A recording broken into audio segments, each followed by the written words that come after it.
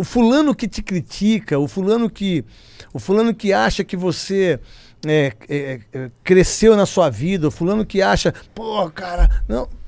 Pô, se você tem a Gillette aqui, você tem o iFood, pô, você tem o Habib's, graças a Deus, meu irmão.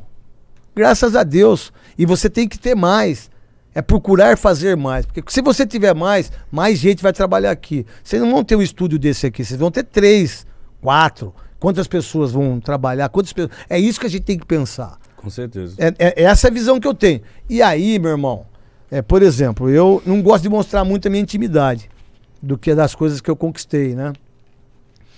É, é, duas coisas que eu tenho muito orgulho de mim mesmo. É, quando eu era criança lá em Santo Antônio de Posse, tem um bairro lá que chama Monte Belo. Eu nunca fui quando eu era criança, porque é o bairro dos ricos, dos bacana Uhum. dos bacanas da cidade e dos bacanas que tem em Santo Antônio de Poços, que vai ter em chácara, essas coisas.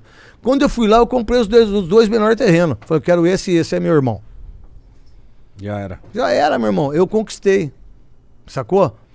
Eu nunca ia pra Orlando. Aí a mãe da Luísa, a Fernanda, falou: Não, vamos, vamos. Eu falei, pá, eu não gosto dessas coisas aí, não. Esse negócio de estrangeiro, eu não sei falar essas porra. Aí vê Mickey, o Pateta. Vai tomar no cu do Mickey. Você fica dando moral pra um rato. Vai tomar no cu do rato, velho. Olha o que o rato fez, velho. Um rato? Um rato, velho! Um rato botou no nosso cu geral. Você vai lá, você paga 140 dólares pra ver o rato. Aí, cara, aí eu fui. Pô, eu adorei. Meus filhos, pá. Pagou pá. pau pro rato. Pô, paguei pau pro rato. Aí você vê, você sabe que dentro da. Você sabe que o tic-tac tem dois caras ali. Mas você gosta de abraçar o tic-tac, Tic-teco. né? Eu Aí, chorei quando eu fui. Pô, é do caramba. Eu chorei pra caramba. Eu sei que se eu for, eu também vou Não, chorar. eu te falar uma coisa. É uma emoção. Eu nunca fui no Play Center, porque eu não tinha grana. Eu nunca fui no Play Center aqui. Aí, cara, pô, passou o tempo, tudo, pá, pá, pá. Hoje eu tenho uma casa lá. Em Orlando? É. Caralho. Casa não, tenho uma mansão. A verdade é assim. Diga-se de passagem. É, diga-se de passagem. É verdade, mas eu, conquist- Lógico, eu conquistei, cara. Eu conquistei isso. E aí, meu irmão, quando, quando a primeira vez que eu fui dormir lá com a minha esposa e os meus filhos, a Luísa não tava. Então, mas eu vou deixar de terminar, cala sua boca. aí, cara, eu não, quando eu fui comprar, eu comprei o terreno e aí eu a gente construiu a casa pela construtora. Pá, pá, pá. Aí eu fiz um quarto pra cada filho. Pá, pá, pá. Eu fiz um quarto pro meu filho, cara, pro Gustavo, fiz do Harry Potter, cara, que era o maior sonho dele. Que louco. Eu, eu, eu fiz isso, sacou? Aí eu fiz um quarto pro João, fiz um quarto pro Júlio, fiz o meu e tem um pra. E tem um quarto pra as pessoas que, Visitas. que podem ir lá. E aí, eu, e eu fiz o quarto pra ela. Eu não, a Sandra fez. Cara, a primeira noite que eu, que eu tava lá, eu escutei um barulho, pá, Falei pra Sandra, pô, vai tomar no seu cu, porra.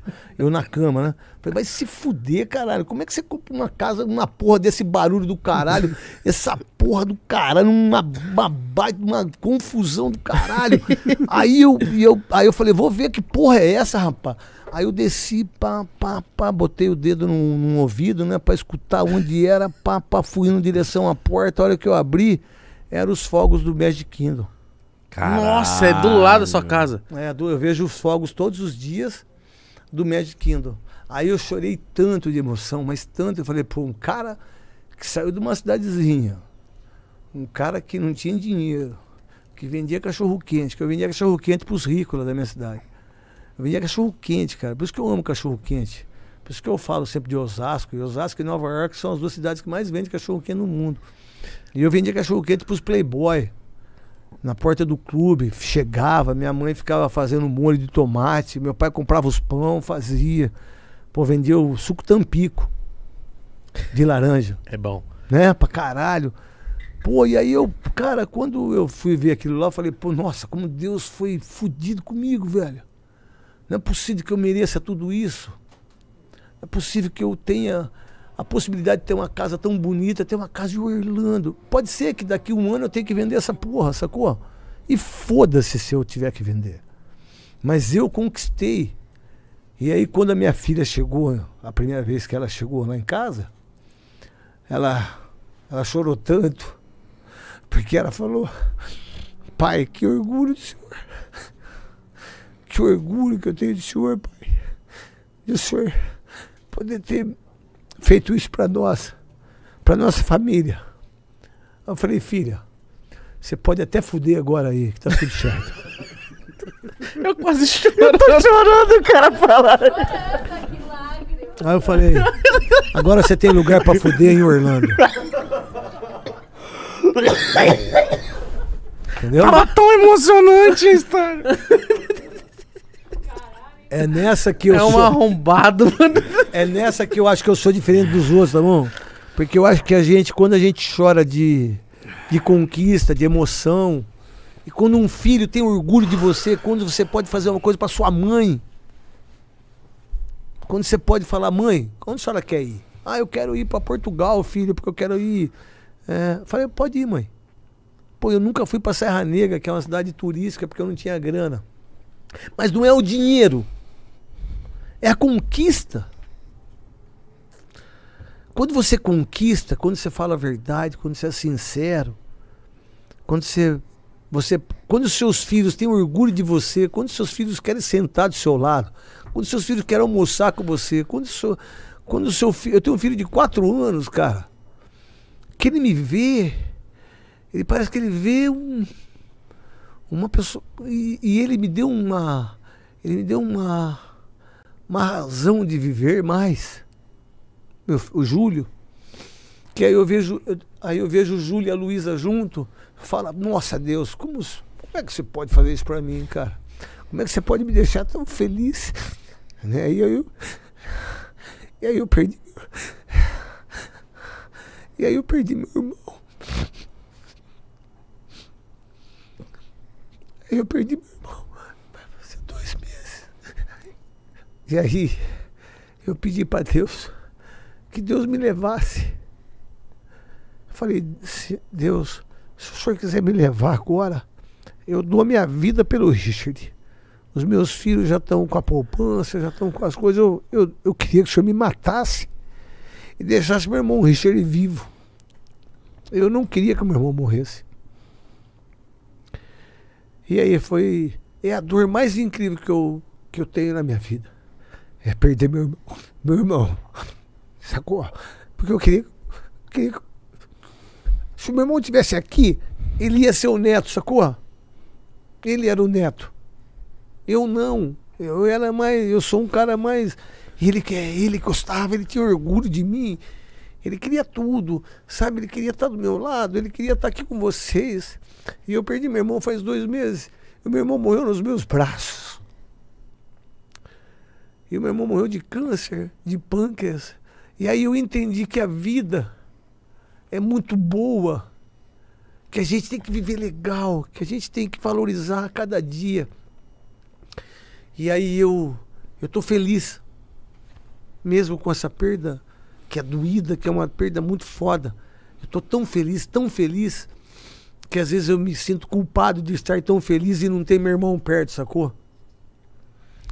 É, e esse ano foi um ano muito difícil para mim, porque eu. Pra vocês terem ideia, meu pai. Meu pai tomou as duas vacinas, mas ele pegou o Covid e as vacinas ajudaram meu pai a não morrer. E isso foi num domingo.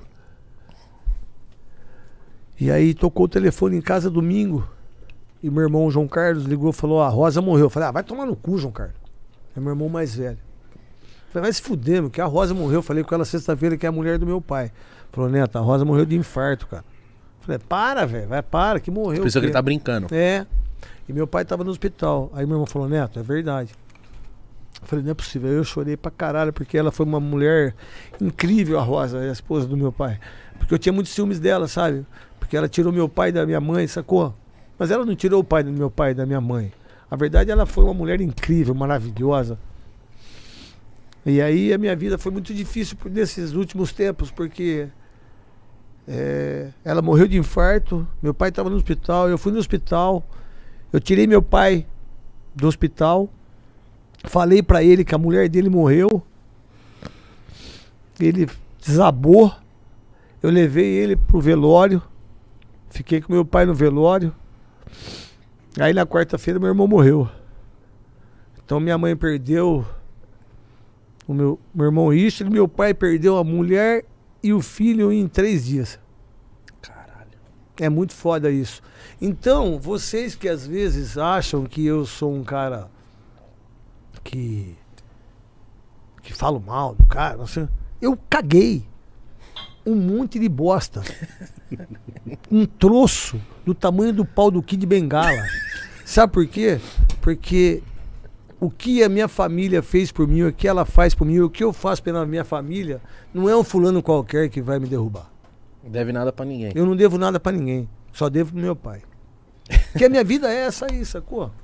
Porque se a gente não se a gente não não procurar fazer o bem, a gente não tá aqui pra porque é muito pouco que a gente vive, sacou, Mítico? Você. Muito, muito, muito. É muito, é muito, é muito pouco. Então a gente precisa ajudar.